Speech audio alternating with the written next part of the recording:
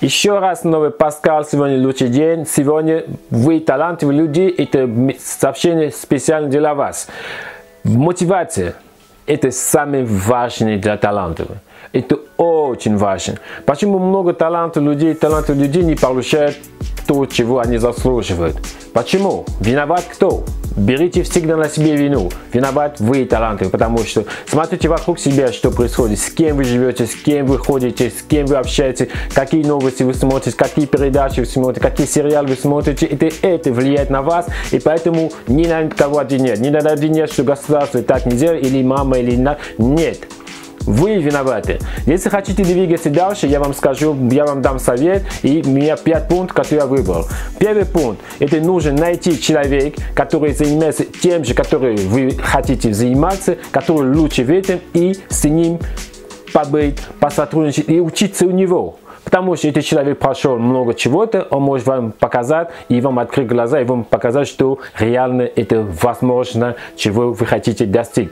Это первый пункт. Второй пункт, это как только вы теряете желание, когда вы хотите что-то делать, всегда вспоминайте, почему вы об этом, откуда пришла эта идея, почему вы захотели это делать. Может быть, хотели просто показать кем-то или доказать кем кому-то. Это очень важно. Всегда вспоминайте, откуда пришла эта мотивация, это желание стать кем-то. Третий пункт – это надо обязательно нарисовать, написать ваше желание. То, что ошибка, ошибка, которую много людей совершают, это то, что они не пишут, а они вообще вообще просто, ой, я хочу и никогда не зафиксирую. У меня есть книга, где я написал, написал 100 я хочу в жизни. Даже не книга, моя тетрадь.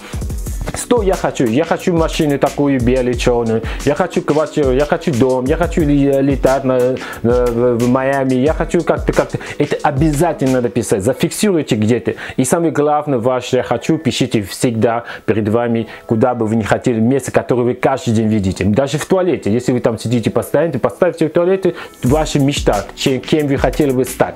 Это очень важно. Это вас будет мотивировать, потому что будет работать на ваше подсознание, сознание и у вас точно все получится. И вот, еще один пункт, и четвертый пункт, надо себя вести, как будто у вас уже есть, как вы достигли цель. Не важно, пусть люди над, над, над вами будут издеваться, если хоть ты хочешь стать актером, если ты будешь всегда классно ходить, как уже у меня уже есть, не важно, что у тебя ничего нету, но все равно ты себя чувствуешь внутри. Важно то, что ты, кем ты себя чувствуешь внутри. Снаружи ты не так важен. Пусть они думают, пусть они, ну когда ты будешь кем ты хотел стать, они бы, ой, вот, а, они не смогут, они не признают, что они тебе, они просто э, убили, убивали твою мотивацию. И последний пункт, и вы должны себе представить как король, как финишный пункт, что вы же достигли ваш цель, что вы стали тем талантом, который вы хотите стать. Значит, я хочу играть, я хочу быть лучше Месси, я должен себя вести как Месси. Если мой кумир это Кристиану или Майк Тазен, или может быть Билл Гейтс, или может быть кто, кто-нибудь, я себя веду, я одеваю как он, я чувствую себя как он, я, у меня такая энергия как он, значит я крут.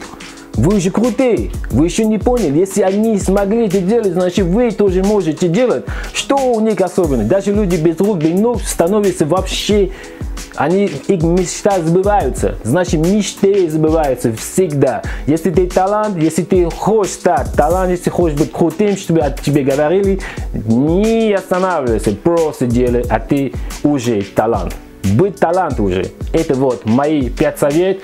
Это я надеюсь, что вам понравилось. Если понравилось, поставьте лайк. Если есть еще 6 или 7, 8 совет, который бы хотели предлагать другие, напишите в комментарии, и они будут рады. Так что наша работа это помогать тебе, талант, стать властелин мира. Пока-пока-пока, это Паскал.